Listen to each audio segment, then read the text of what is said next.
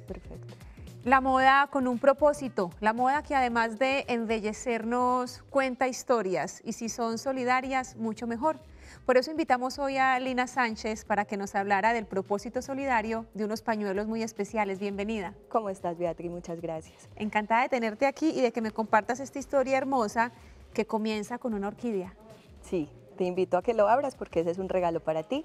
Estos pañuelos son pañuelos para que se van a convertir en semillas y herramientas para que las mujeres del Amazonas eh, cultiven su propio alimento. Entonces apoyan la soberanía alimentaria.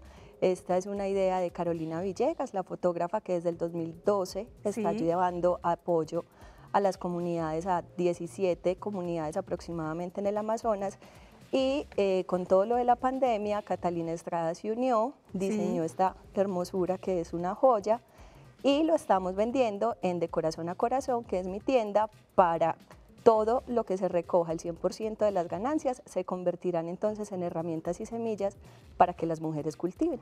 Mujeres del Amazonas, además que se ven aquí en esta, en esta propuesta y en esta frase. claro.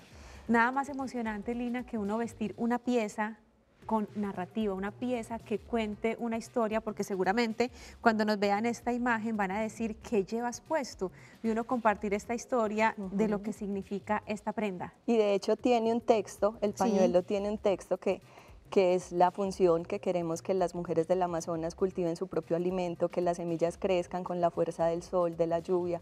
Es realmente un proyecto muy, muy hermoso. Sí, mostremos el texto entonces para que las personas lo vean y se terminen inspirando muchísimo más, no solo de la vistosidad de los trabajos de, nuestra querida Catalina Estrada, una reconocida ilustradora antioqueña afincada en Barcelona, a quien la pandemia la dejó aquí en Medellín, pero ella no perdió el tiempo, trabajando y compartiéndonos este, este propósito tan, tan inmenso que ella tiene en su trabajo, Lina. Claro que sí.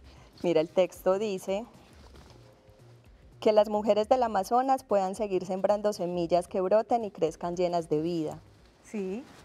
Lina, ¿es un, ¿es un porcentaje lo que se destina? Si yo compro este pañuelo, sé que va a llegar un porcentaje a las mujeres del Amazonas o la totalidad. Es el 100%, es el 100%. Catalina eh, donó pues su trabajo y a partir de donaciones está eh, pues la mano de obra, todo, el tiempo, pues el 100% es para las mujeres del Amazonas. Bueno, quienes estén preguntando cómo lo voy a usar, me parece precioso, ahí estamos viendo en pantalla una manera de usarlo, cae triangular sobre el pecho, no te va a generar volumen, con una prenda de fondo entero va a embellecer muchísimo el atuendo porque el pañuelo es el que aporta el estampado, también puede ir envolviendo el cuello y anudado a un lado. Y quienes quieran arriesgarse un poquito más seguramente podrán usar esta hermosa pieza como cinturón en la cintura sobre un vestido, sobre un jean. Y, como no, ese detalle que a mí me resulta fascinante y es llevarlo atado en la cartera. Sí, en la y de hecho esta tela, por ejemplo... En la cabeza divino. Sí, en la cabeza y es antifluidos, entonces también funciona perfecto de tapabocas en este momento también tan especial. De tapabocas y me resulta encantador, Lina, la, riqueza de colores que tiene, que identifica Catalina en su trabajo, pero especialmente si a mí me hablan de Amazonas, yo me estoy imaginando esa riqueza biodiversa que apreciamos ahí. Sí, es hermoso. Realmente los diseños de Catalina yo la admiro hace muchos años precisamente por eso, por la conexión tan especial que tiene con la naturaleza y cómo en sus diseños lo puede mostrar. Lina, gracias por acompañarnos. A ti, Bea, por invitarnos, gracias. Ya lo saben, moda con propósito, moda que nos invita a contar historias y a compartirlas, especialmente con solidaridad. Hasta pronto.